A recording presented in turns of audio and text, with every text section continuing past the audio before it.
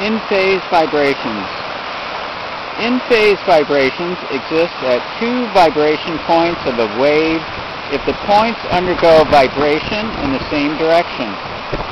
Vibrations are in phase if the points are a whole number of wavelengths apart.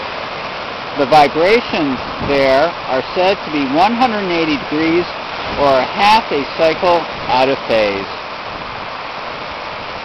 And that is in-phase vibrations.